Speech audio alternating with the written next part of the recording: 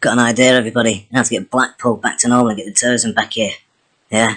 You see this fracking site? All you do, right, yeah, is you get all the nonces here, all the pedophiles and nonces, throw them down the fracking hole, yeah? Fill it up with cement, and me and my mate Yampy can guard it.